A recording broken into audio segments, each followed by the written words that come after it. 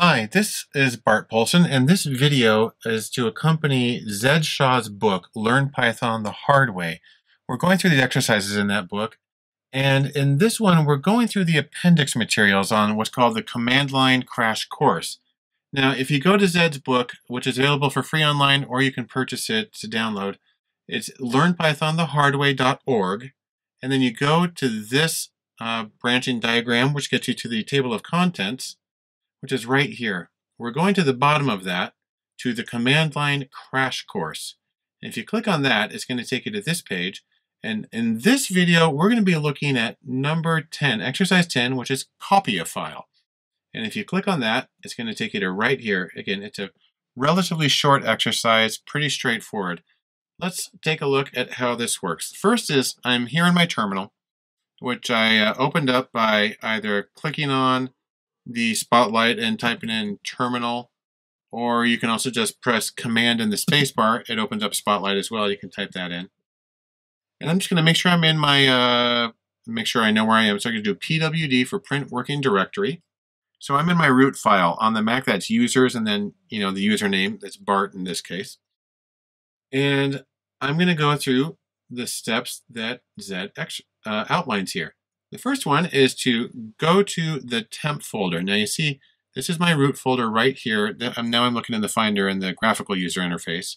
I want to get into this one, temp. So all I got to do is do cd temp. And I can do that because it's in the immediate folder beneath. Otherwise, I'd have to specify uh, the full path. Anyhow, so now I'm there. And what I'm going to do is actually, you know what? I deleted a file from the last one, so I better recreate it. I'm going to go touch I am cool.txt. And that's going to create a file in that folder. You see now it just got created and it's an empty file. There's nothing in it. But now that that file is there, I'm going to copy it. I'm going to use cp. That's the command for copy. That's pretty straightforward. I'm going to do I am cool dot text. And so you say you're going to copy, then you say where you're going to copy from. You have to write out the whole thing, and then what you're going to copy to. We're going to create a new new file called neat.txt. Now, I don't have to create it first. It gets created when I copy it. And you see right down here, we only have one thing right now, but if I click this, now we have two. And we have neat, and it's, you know, it's also exactly the same empty file uh, Zed says to run ls or list the contents of the file directory. I'm in temp right now. See, I'm in temp. If I just do l, that pwd is for print working directory, ls, and you see I've got my two files there. It lists them in alphabetical order. I've got I am cool, the one I created before, and I've got neat.txt, the one I just copied to. We're going to uh, just repeat the process. We're going to copy it again. I'm going to go to cp. This time I'm going to copy um, neat.txt, and I'm going to create another file called awesome.txt. That's what he's telling us to do right here.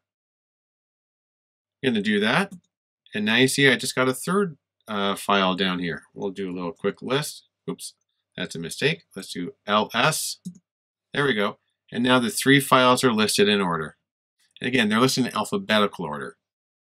Now I'm going to do one more. I'm going to go CP for copy, and I'm going to take my newest one, awesome.txt. I'm going to create a file that is uh, got a little self-referential name. It is the fourth file.txt. And again, see I only have three down here right now. I'm going to hit this, and ta-da, now I've got four. Now we're going to create a directory within the temp folder. So remember, Folders and directories mean the same thing. On a Mac, you call them folders, and in Unix, you call them directories. I'm going to use the make directory command. That's mkdir for make directory. And that's this one right here. We're just going to call it something. Something. Okay. And now I've got a folder here called something, and there's nothing in it. And what I'm going to do is I'm going to use cp that's to copy, and I'm going to copy this one file, awesome.txt, and I'm going to copy it into this new directory. Now I'm going to do something. Now, interestingly, there's two different ways to do this. Uh, if I just do it like this with no slash at the end, you see it works. it worked. On the other hand, you may notice that Zed over here used a slash. And the purpose of that is it's a way of specifying that the thing you're copying it to really is a, um, a directory. In fact, I'm going to just use the same thing. I'll just copy the neat. And I'm going to copy it into something, except this time I got the slash on it. You see, you get the same result, but it's a little more explicit, and so there's a little less potential for confusion. We're going to do the ls to list the contents. Let's see here. Yeah. Now, this is the contents of the folder temp. And I've got, and it's in alphabetical order. I've got my awesome text. I've got I am cool.txt, neat text, something, and then the fourth file.txt. See, it lists them all in alphabetical order. All right. Now let's take a look at what's in the something folder. I'm going to do ls something. Now I want to see, show you what happens here if I don't use the, uh, the slash in this case. Oh, actually it worked just fine. It's later uh, when I uh, get a mistake. Anyhow, I can use the slash. I can do the slash right there. Same result. It just lists those two files that are in there. All right. This is the one. Um, now what I'm going to do is something else where I'm going to copy the directory along with its contents. I'm going to do cp, copy, and then I'm going to use this uh, flag. That's the dash R. And um, that tells it that I'm, I'm working with directories and to copy the stuff that's in them. And what I'm going to do is I type the name of the directory that I'm using, something, and I'm going to create a new directory. In, now notice I'm in my active working directory is temp this is where it's working right now. So I'm going to copy this one, which is called something, and I'll make a new directory called new place.